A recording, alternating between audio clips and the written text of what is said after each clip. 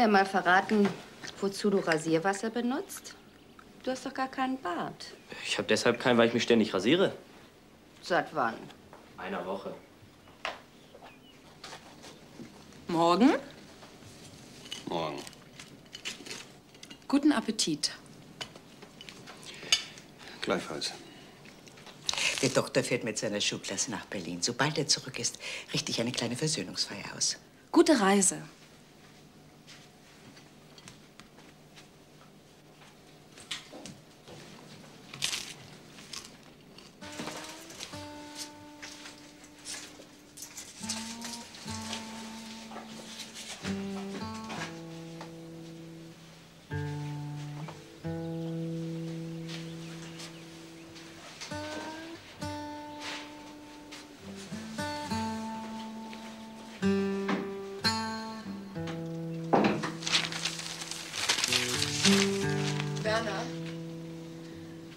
20 Mark?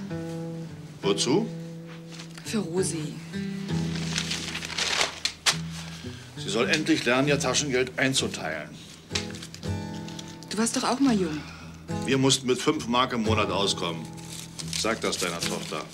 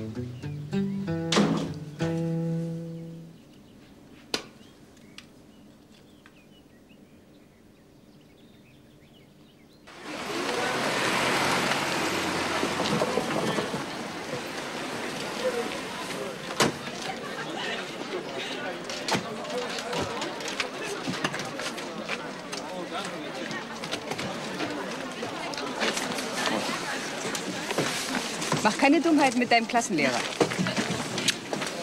Also dann. Morgen. Morgen. Morgen. Pieper. Morgen. Alle da? Außer Herrn Schütze sind alle da. Wer ist der Schütze? Schade. Ah.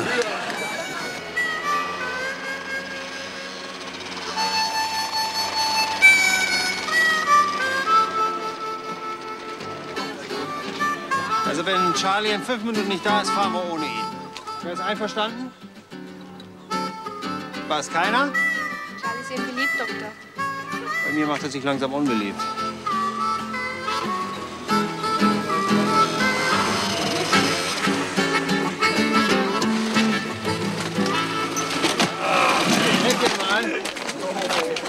Finden Sie mal ein neues Moped, Doktor? Sehr schön. Moment, Moment, Moment. Ist das deiner? Ich schlafe nicht gern allein, Frau Pieper. Solange sich nichts Besseres findet. Also los, alle einsteigen. Na kommt, macht schon.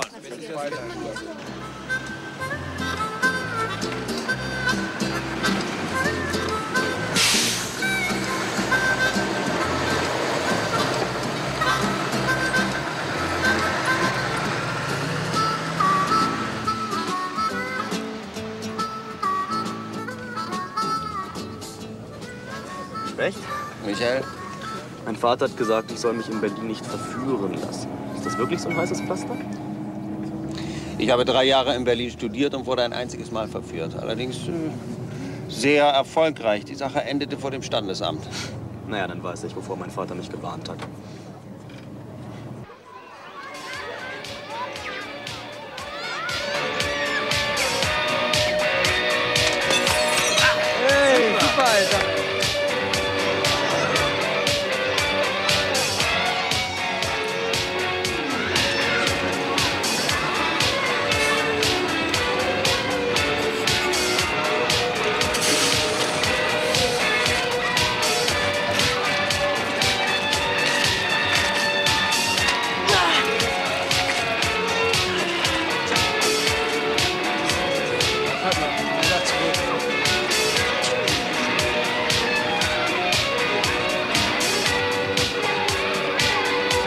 Geschossen hat? Sag's ihm, Linse. Weil ich euch zum Schießen finde, wa? Den Hilfsschüler bist ganz schön aufgeweckt.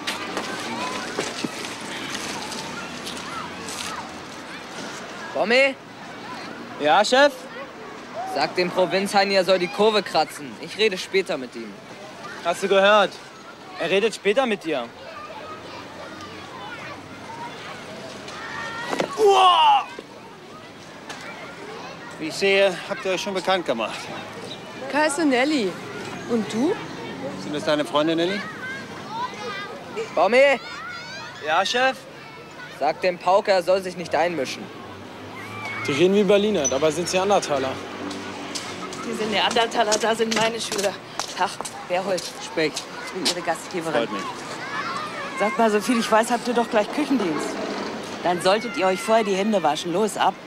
Bei dem Fraß, den es hier gibt, ist Waschen Zeitverschwendung. Tja, die sind nicht ganz pflegeleicht. Haben ja auch alle keine Eltern mehr. Na, dann wollen wir mal. Los, kommt rein, habt keine Angst. Florian, kannst du meinen Koffer mitbringen? Mach ich, Herr Doktor. Danke.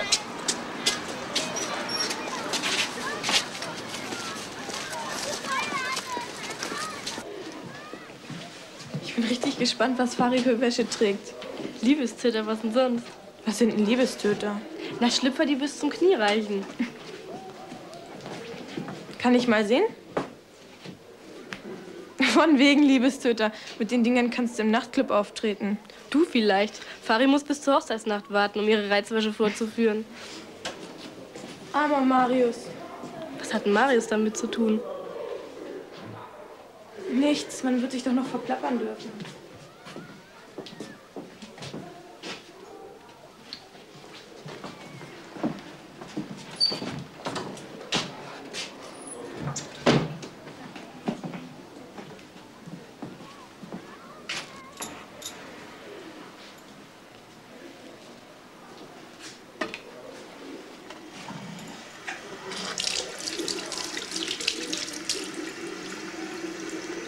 Sag mal, hast du irgendwas? Dann eben nicht.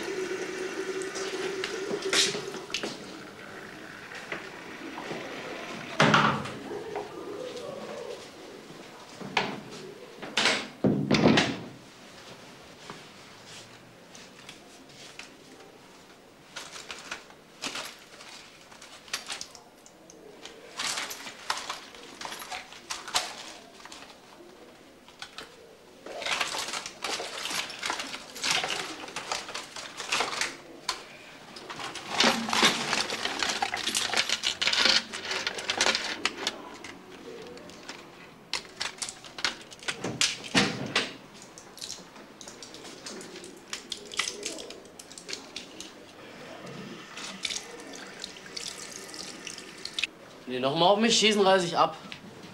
Was soll meine arme Mama denken, wenn ich mit einem Glasauge nach Hause komme? Hör auf zu jammern, Charlie. Nimm dir ein Beispiel an dem tapferen Tier. Es hat zwei Glasaugen. Zelle 26 mit vier Mann belegt. Keine besonderen Vorkommnisse. Wunderbar. In zehn Minuten raustreten zum Stadtbummel. Wir besuchen hoffentlich kein Museum. Das machen wir als erstes.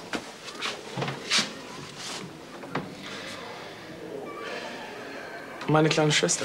Warum kaufst du nicht zum Anziehen?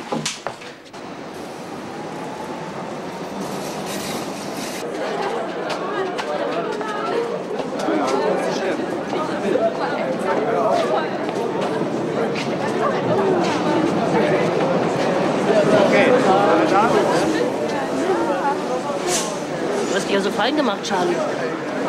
Ich bin wahrscheinlich der Einzige, der sich für das Nachtleben von Berlin interessiert. Was verstehst du denn darunter? Ich war zum Beispiel noch nie in einer Piepshow. Ich auch nicht, Charlie. Sie können mich ja begleiten. Wo ist denn eigentlich Rosi? Die haben wir ins Bett gesteckt, die hat ihre Tage.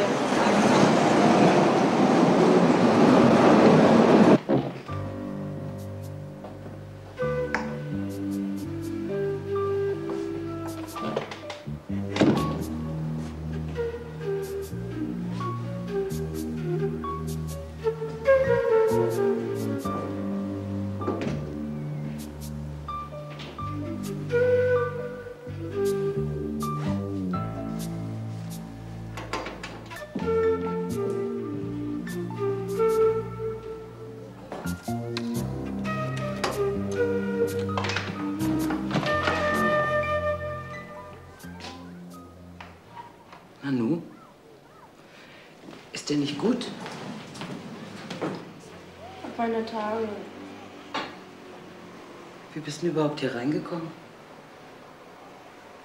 Die Tür war offen. Hast du Schmerzen? Warte mal, ich geb dir was.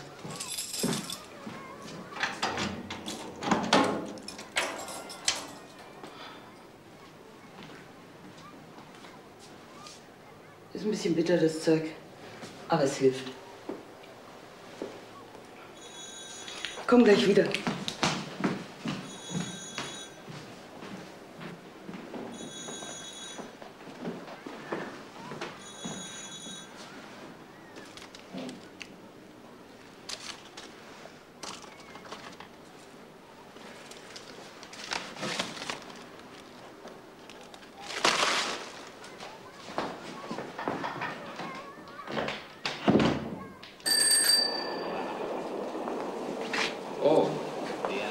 Fritz Hamann.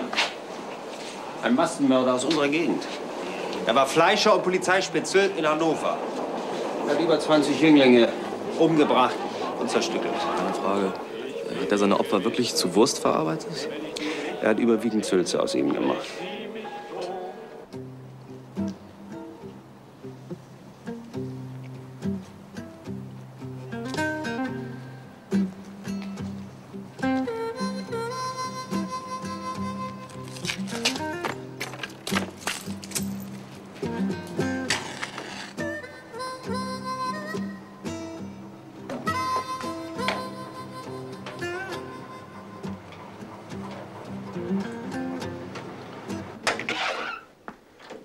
Frau Schneider. Tag. Na? Sie machen ja ein Gesicht, als wäre Rosi im vierten Monat schwanger. Das habe ich heute Morgen in Ihrer Tasche gefunden. Ich wusste erst gar nicht, was das ist. Das ist ein Spritzbesteck, nicht wahr? Als mir das klar wurde, habe ich am ganzen Leib gezittert. Mein erster Gedanke war, eines Tages spritzt sie sich damit tot. Haben Sie denn mit Rosi schon gesprochen? Ich habe solchen Schreck gekriegt, als ich das sah. Ist ja möglich, dass Rosi die Spritze noch gar nicht benutzt hat. Sie wollen mich nur trösten, Frau Doktor. Ich sehe schon, dass das nicht möglich ist. Wenn Sie einverstanden sind, rufe ich Dr. Specht an. Der wird sich um Rosi kümmern. Ja? Ich mache mir solche Sorgen um das Kind.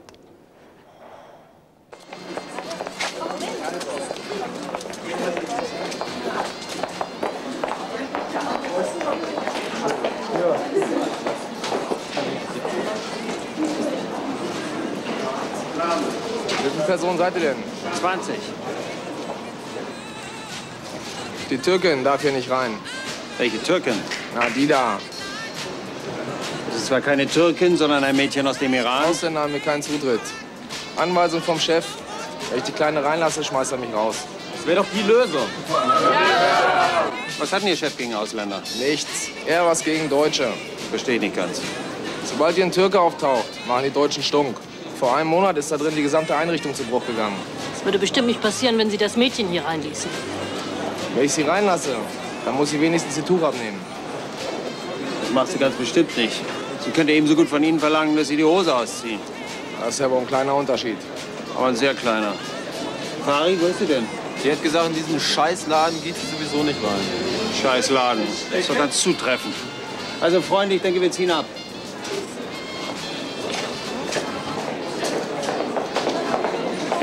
Ach, da seid ihr ja. Nimm das nicht persönlich, Fari. Ach, wir machen morgen unsere eigene Disco. Mit Florian am Klavier. Ich gebe mein Abschiedskonzert nur für dich. Ihr braucht mich nicht zu trösten. Ist doch nichts passiert. Also, damit der Abend nicht so traurig endet, lade ich euch zu irgendwas ein. Sagen wir zu einer Pizza? Ja. Wie schmeckt das Spiel? Na also, kommt.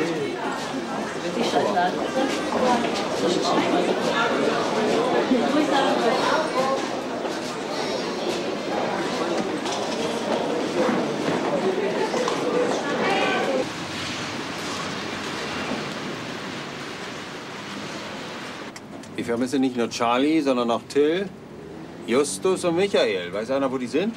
Oh, sie wollten sich noch was ansehen. Was heißt denn das? Sind die ins Kino gegangen oder was? Nee, die haben gesagt, dass sie nachkommen. Die wissen doch überhaupt nicht, wo wir sind. Ich glaube, Sie brauchen sich keine Sorgen zu machen, Doktor. Es sind doch keine kleinen Kinder mehr. Darum mache ich mir ja Sorgen.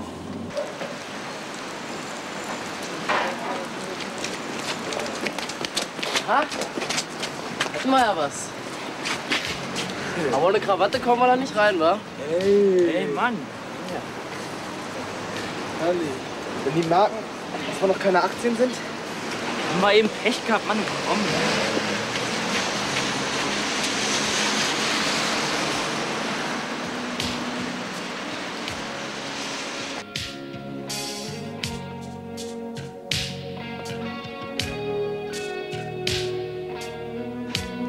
Abend, Herren. Vier Plätze. Bitte.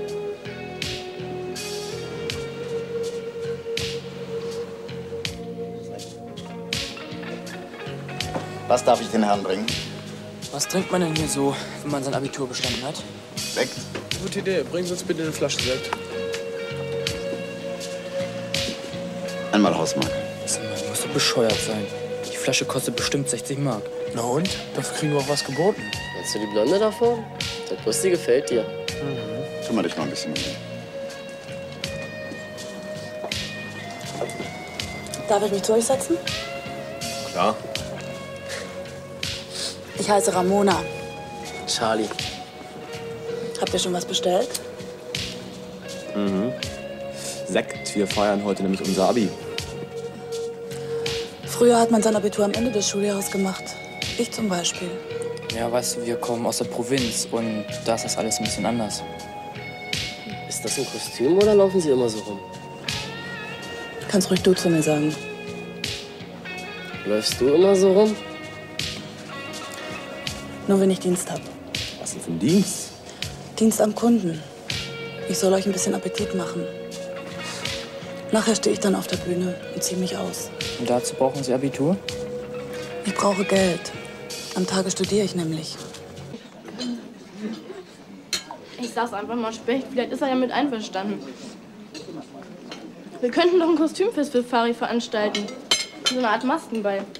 Ja, genau. Sie kriegen einen Doktorhut auf und Frau Pieper geht als Bassgeige.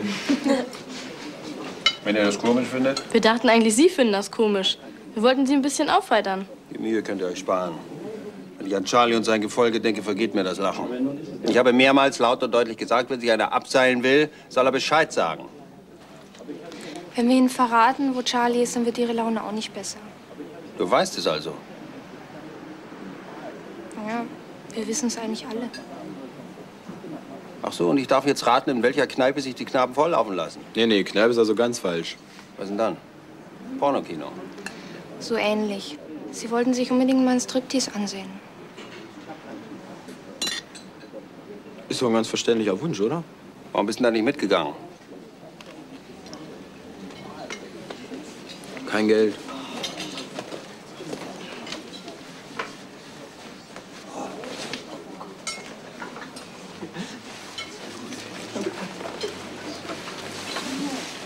Waren Sie schon mal bei einem Striptease, Frau Pieper? Ich? Nee. Sehen Sie, das haben die Schüler Ihnen voraus. Jedenfalls Charlie und seine Freunde. Sie haben ein diesbezügliches Lokal aufgesucht. Wisst ihr wenigstens, wie der Laden heißt? Na?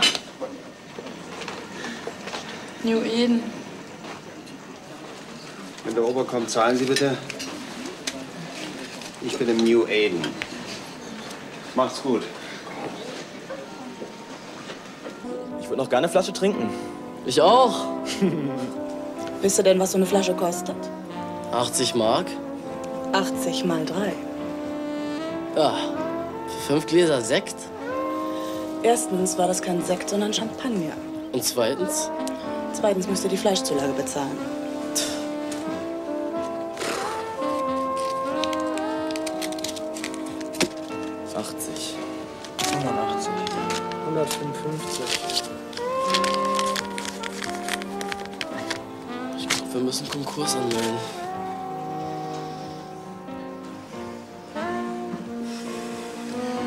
dasselbe die Herren.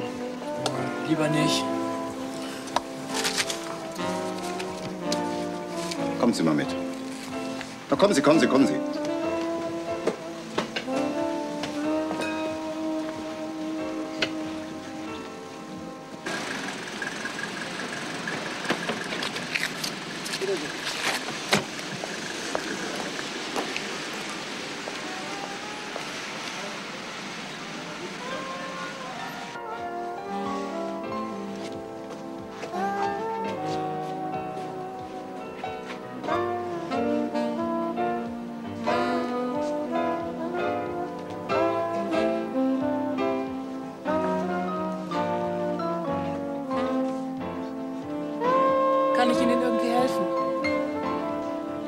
Möglicherweise. Ich suche vier Knaben, ungefähr 16 Jahre alt. Die sehen ein bisschen älter aus, sonst wären sie ja hier nicht reingekommen. Wenn Sie Lust auf Knaben haben, sind Sie hier falsch. Nein, das habe ich nicht. Ich bin Ihr Klassenlehrer. Wir haben eine Fahrt nach Berlin gemacht, um uns hier ein paar Sehenswürdigkeiten anzugucken. Das müssen meine Schüler wörtlich genommen haben. Vor allen Dingen sind Sie knapp bei Kasse. Der Chef nimmt gerade Ihre Personalien auf. Wo finde ich denn den? Das Büro ist da hinten. Danke, danke. Ich hoffe, dein Vater hat so viel Geld, dass er dich auslösen kann. Mein Vater ist tot. Na, wie schön für dich. Der Nächste? Schütze, Karl-Heinz. Wie war das? Schütze, Karl-Heinz. Meine Freunde dürfen mich Charlie nennen. Hast du schon mal Toiletten sauber gemacht? Kann mich nicht erinnern. Dann wird's Zeit, dass du es lernst. Charlie. Karl-Heinz. Zwei von euch bringen die Küche, zwei die Toiletten nach Vordermann. Haben Sie keine Putzfrau? Die kann sich morgen ausschlafen. Guten Abend. Was wollen Sie? Ich bin Lehrer für Deutsch und Geschichte. Das sind meine Schüler.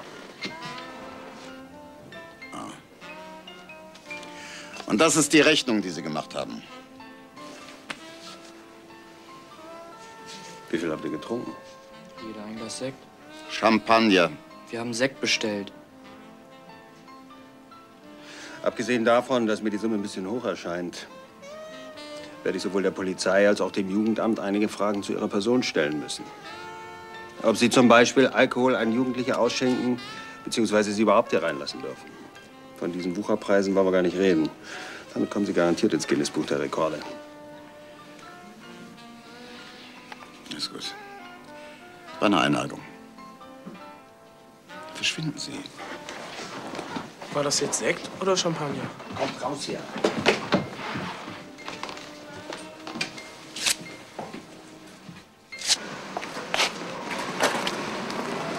Sind Sie jetzt sauer, Doktor? Überhaupt nicht. Ich bin unheimlich glücklich, dass ich mit eurer Hilfe den ersten Striptease meines Lebens sehen durfte.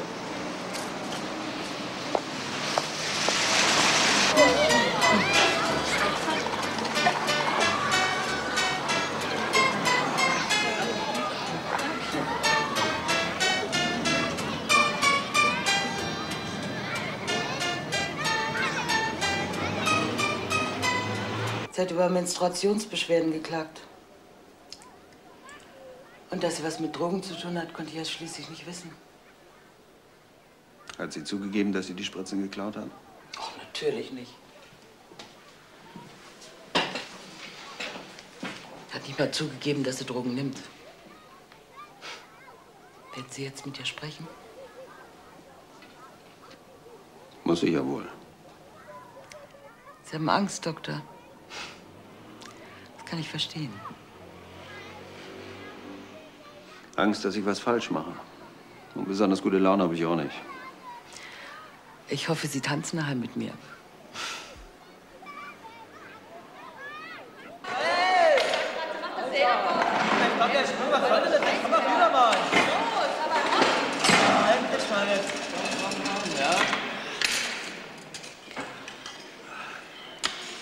Das dauert.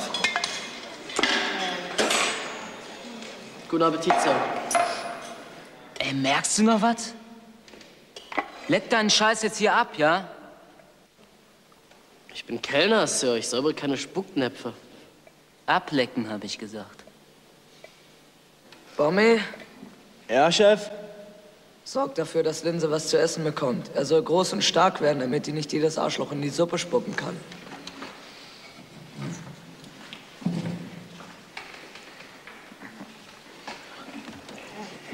Gut so. Ich konnte ja nicht ahnen, dass dieses Retortenbaby ihr Freund ist.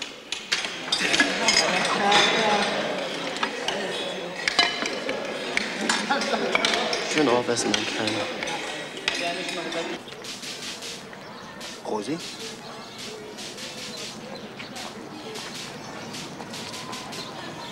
Hallo, Rosi. Hallo.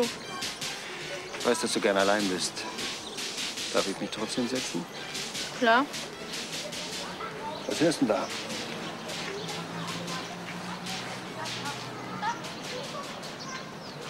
Oh.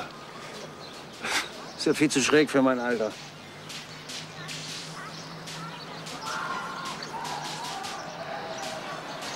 Ist was passiert? Ich soll dich von deiner Mutter grüßen. Danke. Sie macht sich Sorgen. Sie hat dir vor der Reise etwas weggenommen, was du vielleicht benötigst. Ich weiß, mein Spritzbesteck. Aber das kann sie sich an den Hut stecken. Ich hab schon ein paar Wochen nicht gedrückt. Hier. Alles verheilt. Warum hast du dein Spritzbesteck in der Tasche? Hab ich ja nicht mehr.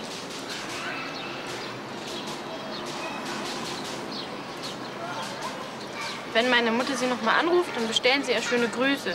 Brauche ich wenigstens keine Ansichtskarte zu schicken. Deine Mutter hat mich nicht angerufen. Wer denn dann? Frau von Barnim. Der kannst du dich anvertrauen, wenn du mal einen Rückfall haben solltest. Kann ich machen. Die Spritzen hast du nicht zufällig geklaut? Was sind für Spritzen?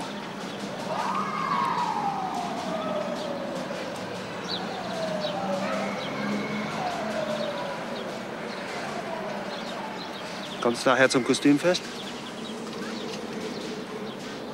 Hab ja eigentlich keine Lust. Ich eigentlich auch nicht, aber wir haben es Fari versprochen.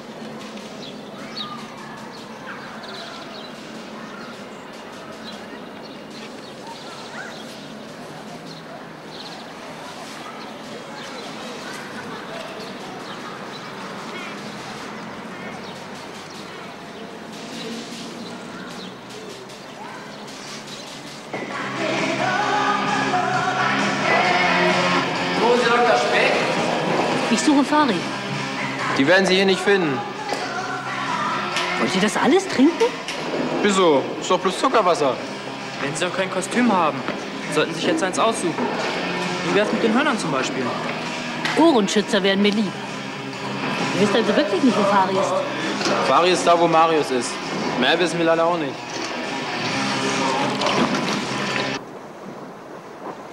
Ich kannte mal ein Mädchen. Es hatte die gleiche Haarfarbe wie du. Wenn du glaubst, dass ich das Tuch abnehme, hast du dich geirrt. Was passiert denn, wenn du es abnimmst? Du würdest mich schön finden und dich verlieben. Ich weiß auch so, dass du schön bist.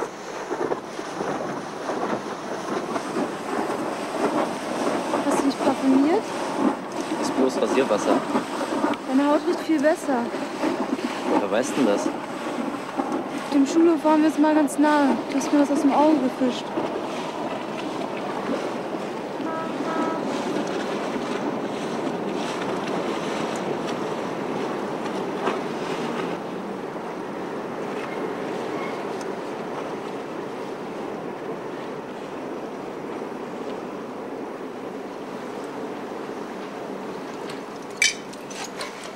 Noch nicht? Meinst du, da passiert noch mehr? Abwarten.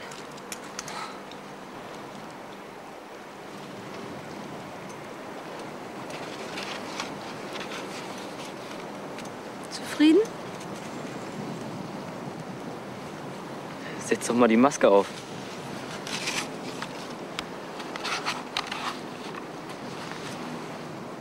Tanzen wir nachher zusammen? Vielleicht.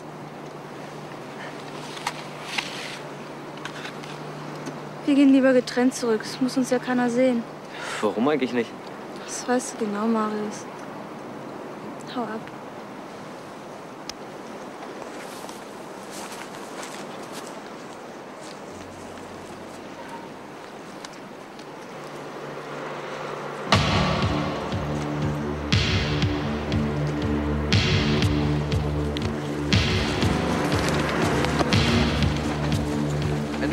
Bist, wird dir nichts passieren. Hey, ich hatte noch nie eine Türkenbraut im Arm. Verstehst du eigentlich was vom Bauchtanz? Wird sich gleich zeigen. Los, komm.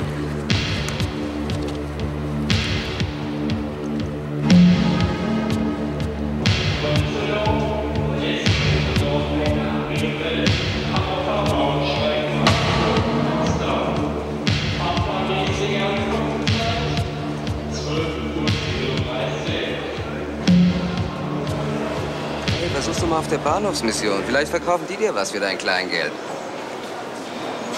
Das sind über 60 Mark. 60 Mark, 60 Mark. Wenn du noch 60 dazu hast, kommst du wieder vorbei. Woher bist du denn? Aus Celle. Wir sind auf Klassenquartier in Berlin. Ach so, du gehst noch zur Schule. Wie alt? 16. Dann kannst du doch was dazu verdienen. Ha? Komm, ich mag dich doch.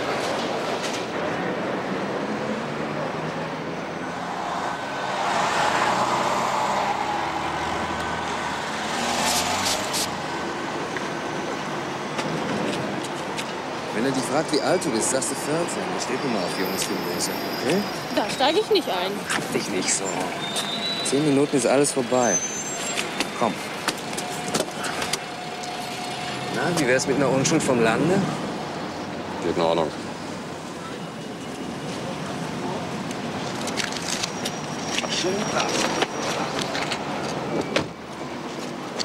Kriminalpolizei.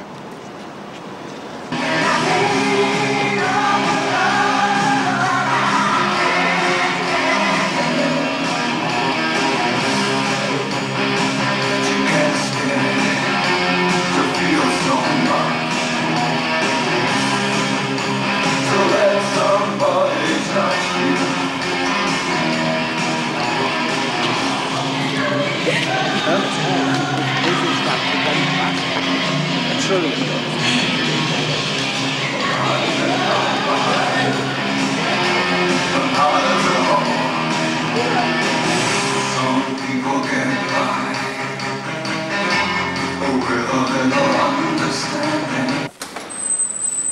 Eine Moralpredigt bräuchte ihr, glaube ich, nicht zu halten. Du hörst ja eh nicht hin, wenn ich dir was sage. Seit wann spritzt du denn das Zeug schon? Naja, seit einem halben Jahr. Aber nicht regelmäßig. Bin ja nicht süchtig. Wirklich nicht. Wenn ich will, kann ich jederzeit aufhören. Aufhören? Das glaubst du doch wohl selber nicht. Du hast doch nur einen Gedanken im Kopf. Wo kriege ich die nächste Spritze her? Dafür würdest du alles tun. Einbrechen, klauen, lügen. Zum Schluss landest du auf dem Strich. Sie wollten mir doch keine Moralpredigt halten. Ja, entschuldige. Ist mir so rausgerutscht. Ist eine alte Schwäche von mir. Immer mische ich mich in Angelegenheiten ein, die mich überhaupt nichts angehen. Außerdem hast du ja auch Eltern. Vater, Mutter. Sollen die sich doch darum kümmern, dass du nicht auf der Straße landest? Ist doch egal, wo man landet. Ich fühle mich sowieso nirgends wohl. Nicht mal in deiner Haut, ich weiß schon. Guck dir die Mädchen an, die denken alle wie du. Für das bisschen Glück, das sie nach einer Spritze empfinden, nehmen sie so viel Leid auf sich, dass ihnen der Tod wie eine Erlösung erscheint. Dort lande ich bestimmt nicht, Doktor.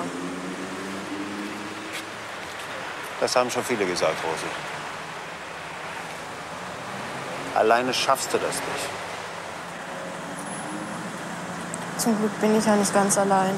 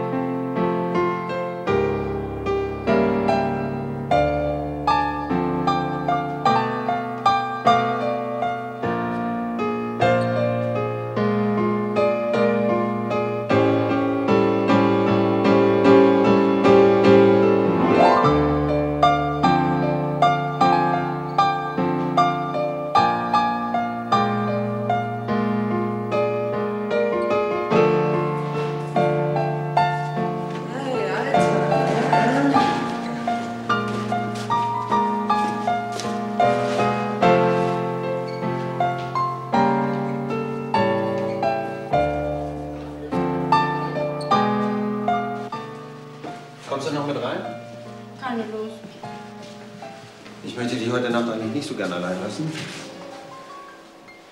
Ich gehe ins Bett. Wir können ja mitkommen. Haha.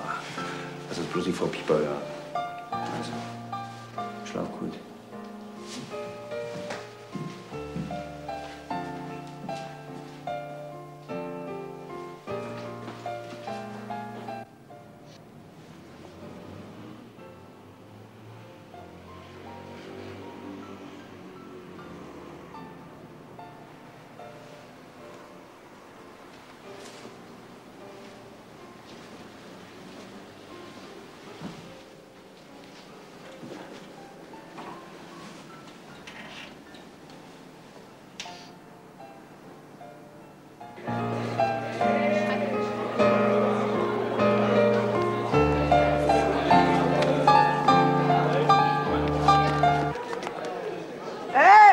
Mach die Musik wieder an. Hey, ich will tanzen. Hey!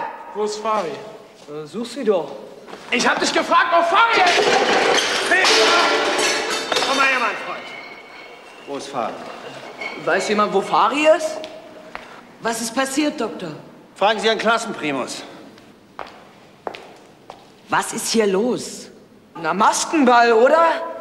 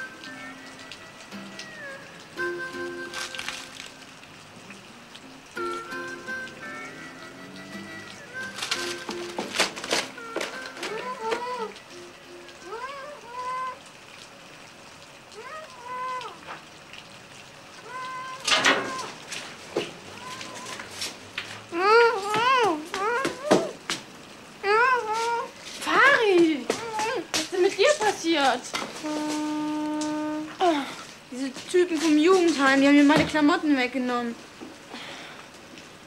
Beeil dich, ich muss sofort zum Fest. Oh, diese Schweine! Oh.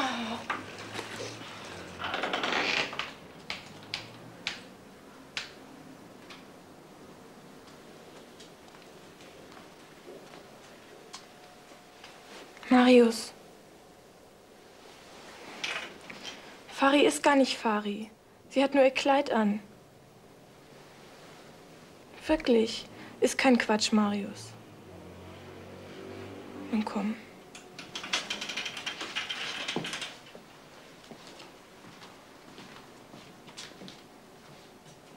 Nun wisst ihr, wie ich als normaler Mensch aussehe. Als normaler Mensch darfst du sicher auch Alkohol trinken. Also Justus, ich glaube, es reicht für heute. Wenn sie nun trinken will? Dann werde ich das verhindern.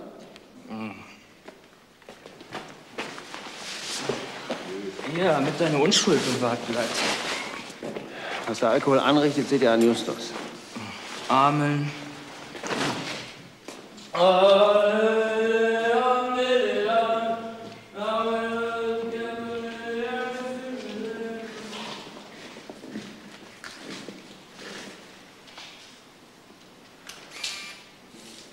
Ulrike, bist du verrückt geworden? So, Leute, das war's. Ab in die Haier. Ja, ja, es ist spät genug geworden.